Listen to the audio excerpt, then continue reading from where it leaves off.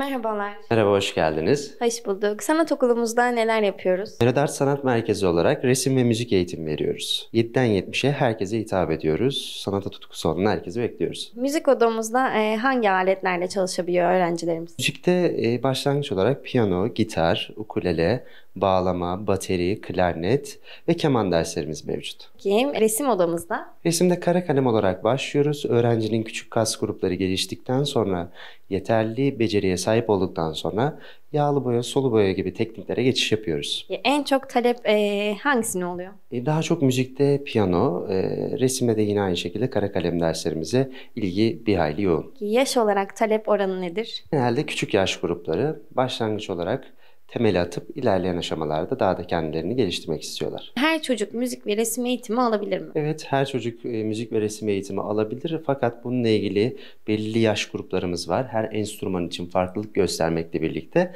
ortalama olarak 7 yaş grubunu baz alıyoruz. Bunu neden yapıyoruz? Çünkü müzikte, enstrümanlarda küçük kas gruplarımızı hareket ettirdiğimiz için e, küçük kas grupları da 7 yaşından sonra kalem tutmaya başladıktan sonra öğrenciler gelişmeye başlıyor. Bununla beraber de e, müzik eğitimlerimizi ikili bir şekilde yürütmeye çalışıyoruz. Ki küçük yaşta çocuğun müziğe ve resme başlaması ileride nasıl bir katkı sağlar? Küçük yaşta başlaması öncelikle sosyal açıdan e, gelişmesini sağlayacaktır. Beynindeki loblarını çalıştırdığı için sağ ve sol el koordinasyonlarını sağladığı için de ileride denge problemlerinde, el koordinasyonu yaptığı işlerde bunlar fayda sağlayacaktır.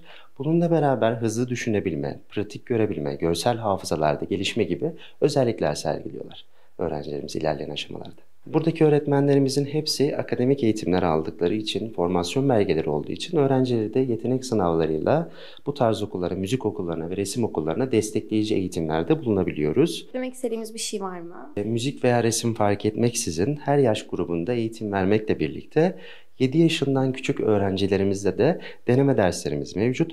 Bu deneme derslerinin sonunda öğretmenlerimizin geri dönütleri dolayısıyla velilerimizi bilgilendiriyoruz. Bununla beraber 5 yaşından itibaren de müzik eğitimimize başlayabiliyoruz. Bunun için ilgi, istek çok önemli. Ee, çocuklarımızı zorlamadan bu konuda istekleri, ilgileri var mı? Ona baktıktan sonra bunları yönlendirmemiz gerekli.